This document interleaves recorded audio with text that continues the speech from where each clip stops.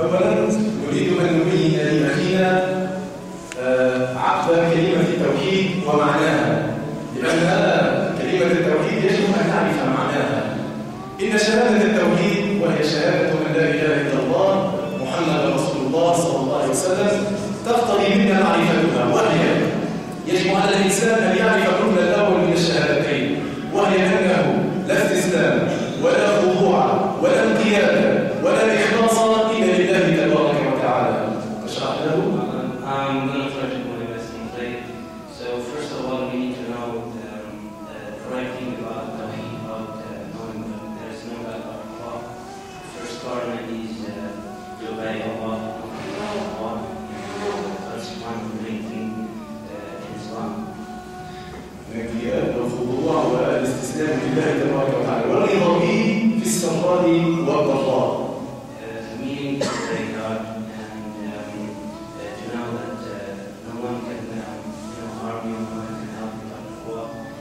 Good or bad things, good or bad shape.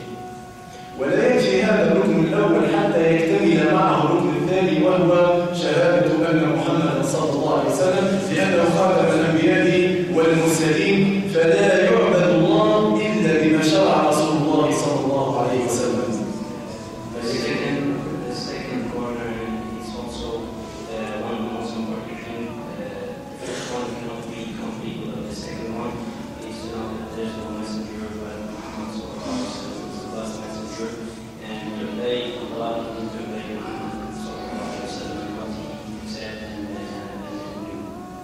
فيجب أن يصدق صلى الله عليه وسلم فيما أخبر وأن يطاع فيما done.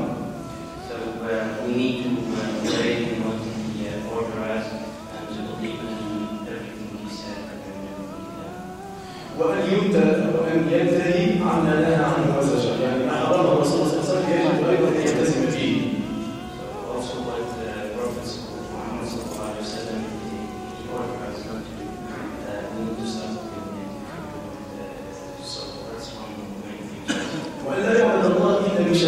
رسول الله الله صلى الله عليه وسلم لأن هذه الشريعة التي لا يقبلها تبارك وتعالى من عبده إلا إذا كانت موافقة لما جاء به النبي محمد صلى الله عليه وسلم. فهي آخر الشرائع وآخر الدين وهو كامل.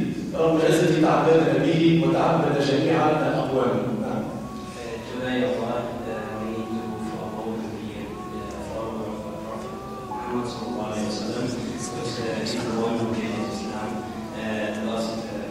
the Prophet uh, one uh, uh, and last religion on earth. That, that's the only way to uh, to believe in God and to worship God and to be to be Muslim.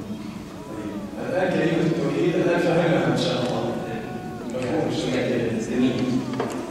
الآن يقول أشهد You have to say uh, أشهد أشهد أن لا إله لا إله إلا الله إلا الله وأشهد أشهد أن محمدا أن محمدا أن أن محمدا رسول الله رسول الله الله أكبر. الله أكبر. الله أكبر. الله أكبر. الحمد لله الذي عبدا مسلما أو عبدا دخل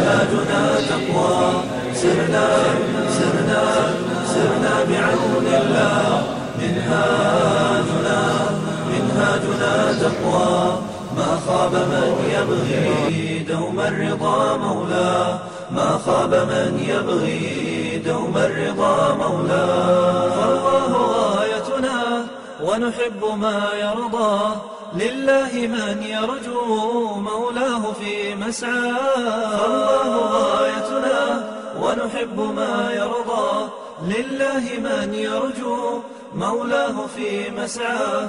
يا إخوتي سيروا في نوره وهداه في نوره وهداه سرنا سرنا سرنا بعون الله.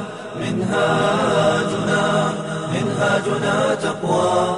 سرنا سرنا سرنا بعون الله. منهاجنا منهاجنا تقوى. ما خاب من يبغي دوم الرضا مولاه ما خاب من يبغي دوم الرضا مولاه فالنور في تلكم المشكاة والحب فواح كالمسك ما أزكى في تلكم المشكاة والحب فواح كالمسك ما أزكى نهديه إخوتنا.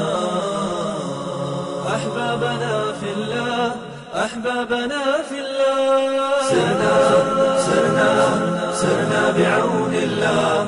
منهاجنا منهاجنا تقوى.